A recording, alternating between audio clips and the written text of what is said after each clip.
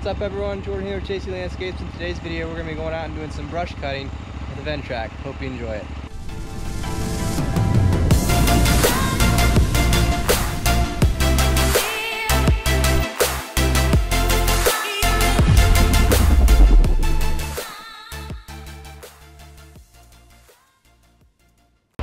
Alright guys, so we're to head out here soon. Luke's getting everything loaded up.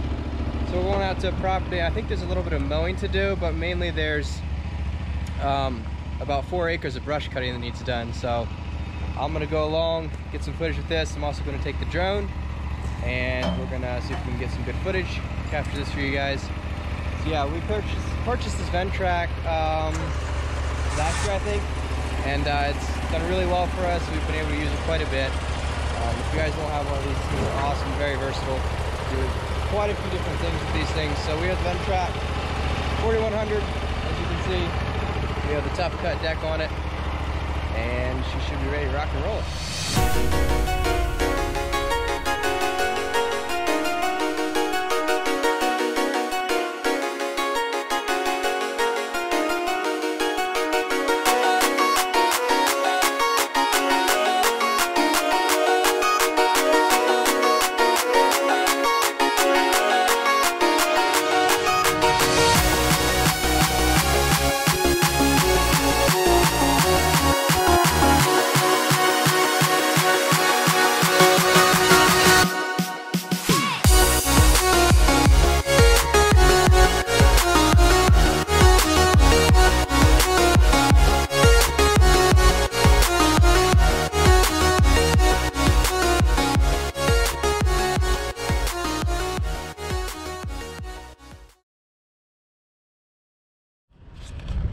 Right, guys, we made it. So um, here's a little bit of what we're looking at. So we got this place here. So everything, pretty much everything gets mowed inside the fence, everything there. And there's a horse pasture out here.